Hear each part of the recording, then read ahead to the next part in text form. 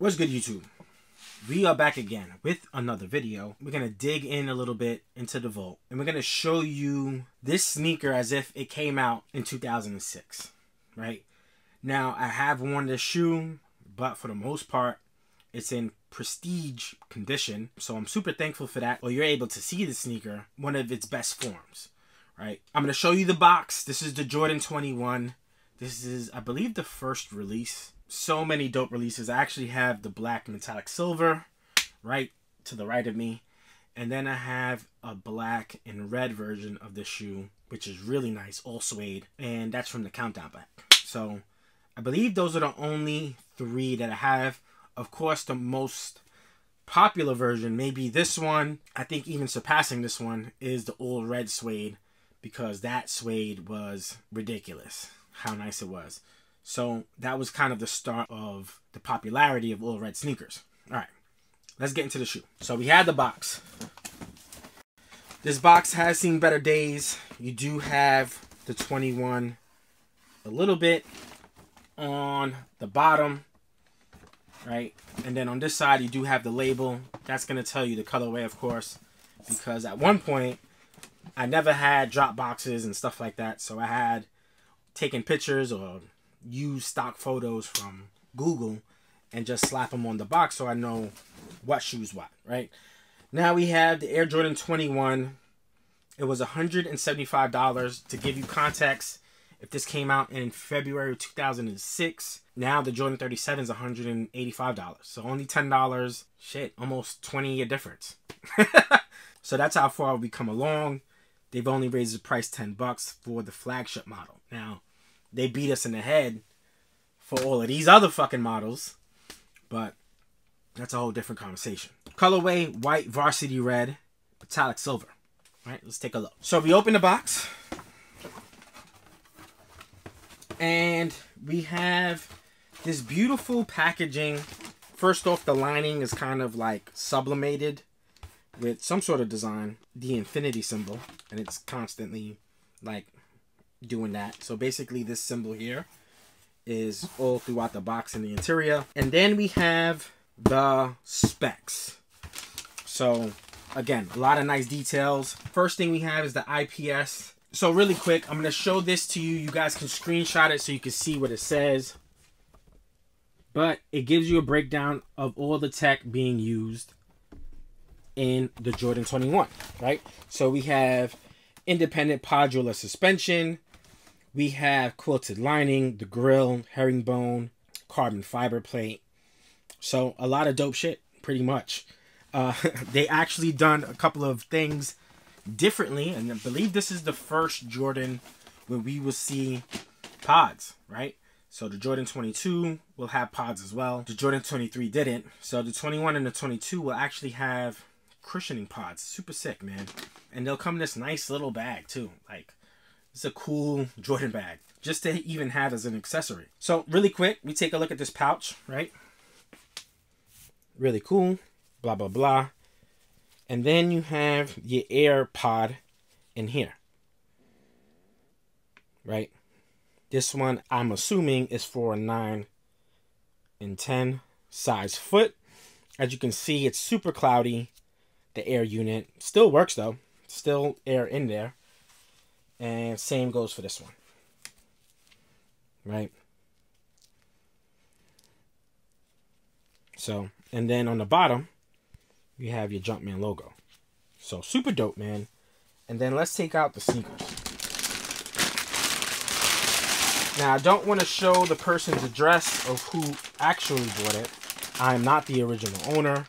I bought this some years ago. So maybe I would say, if I had to guess, maybe eight years ago. And whoever sold it to me on eBay actually kept their Eastbay receipt. So I don't want to put their information, although I'm sure they moved.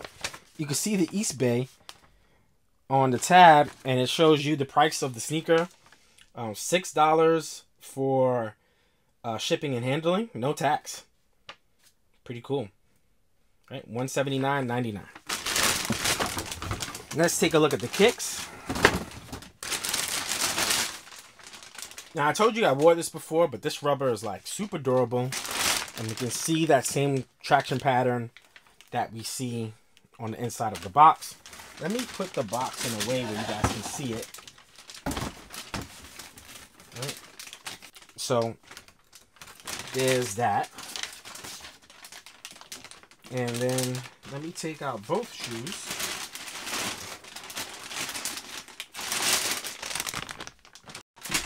Okay, so the grill is inspired from luxury models. The leather on this is really, really nice. This is a clean colorway with the red laces. I mean, come on, man.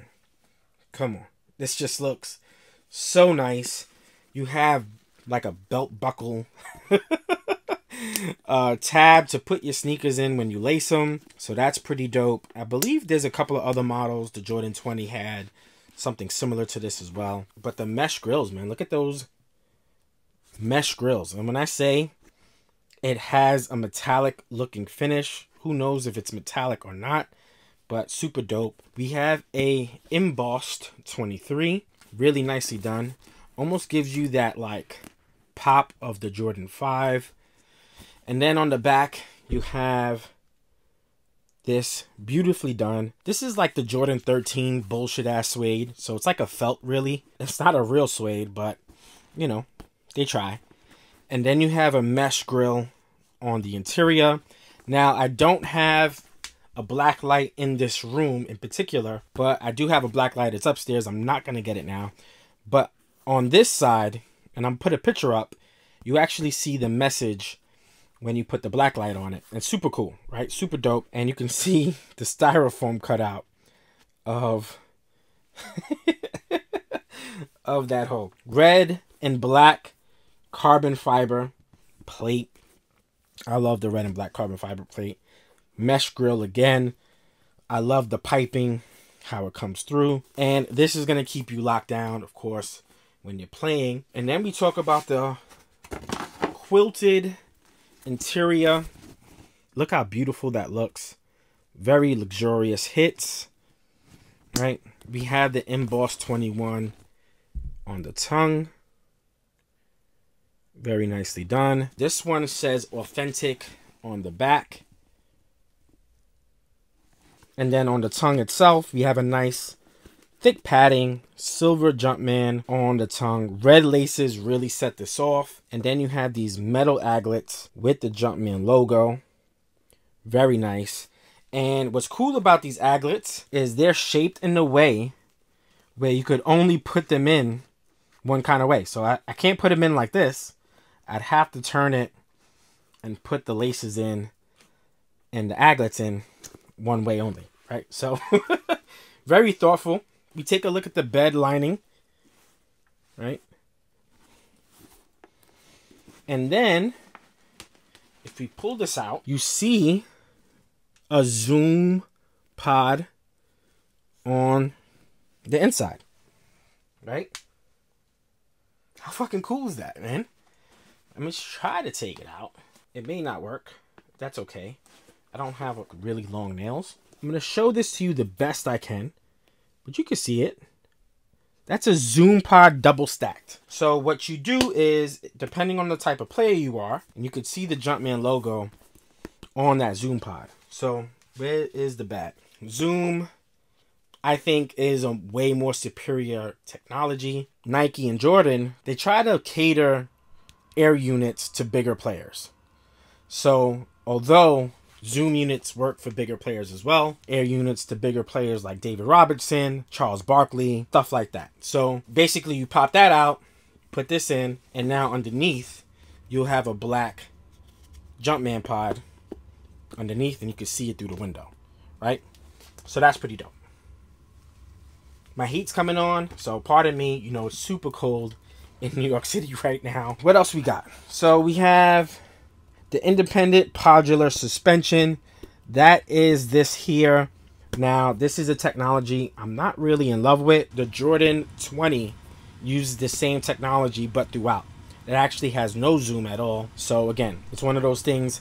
I'm not a big fan of it. To me it kind of reminds me of the vince carter shocks where it was supposed to do something and it never really did. It's hard to break in. Again, I've had fresh pairs of 20s and it wasn't something spectacular. Zoom is by far the best quality cushioning system that I think you can get. All right, I'm gonna shut this off for a little bit and then we'll get back to this video because I just want to wait until my heat calms down, right? So give me a sec. So there you have it, guys. This is the Jordan 21, which I think is definitely one of the more nicer looking Jordans past 14. I know everybody hates these, hates Jordans in general past 14. To me, these are one of the more dope luxury models. And just look how beautiful this is, man.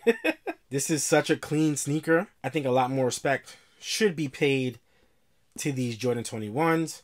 But it'll never happen because he never wore them on court. And anything he never wore as a bull just isn't as popular for obvious reasons. On that note, I hope you guys enjoyed this video.